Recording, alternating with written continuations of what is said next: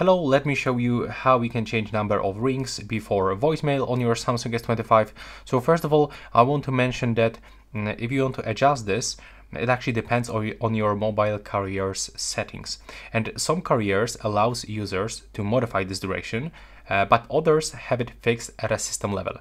So uh, you have to try this one. Open your phone dialer and you have to find your voicemail number.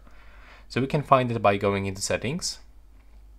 Then you will have to navigate into voicemail and just remember your voicemail number.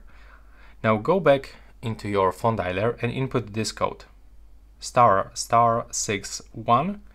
Now star and input your voicemail number in this place. Then two stars 11. Now star and here you have to apply the duration of your voicemail. So um, for example, to set a 20 second ring duration, you have to input here 20. And then click on this icon and you have to press a call. There we go. As you can see in my case, it's actually set for call forwarding. So it's not working in my provider.